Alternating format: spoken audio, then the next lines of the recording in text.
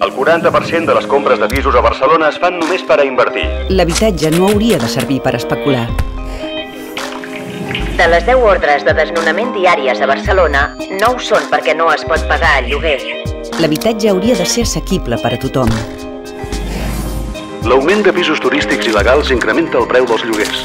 La manca d'habitatge no pot fer fora els veïns i veïnes dels seus barris.